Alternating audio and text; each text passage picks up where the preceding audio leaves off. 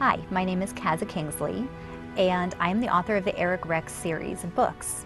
Erec Rex, as you might know, is about a boy who starts off in the series with his mother missing, and he doesn't know why, he doesn't know where she is, and he has to find her, and he finds out that she's been kidnapped into a magical world that he learns that he's from himself.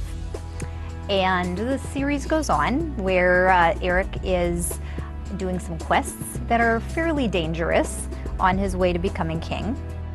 Erec Rex as a character is kind of the older brother that I always wished I had.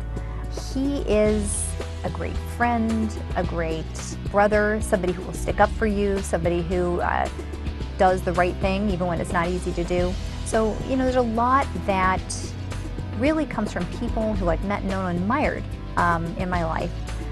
But also there is a, you know, some of the Hercules legend within Erec as well.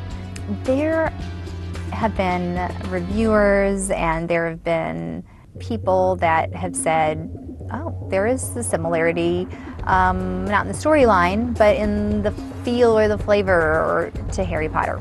And first of all, I take that as a compliment. I love the Harry Potter series. I love a lot of other fantasy series. Um, but Harry Potter is cool, it's, so I think that's nice. I think it's, it's been meant in a great way, which is always good.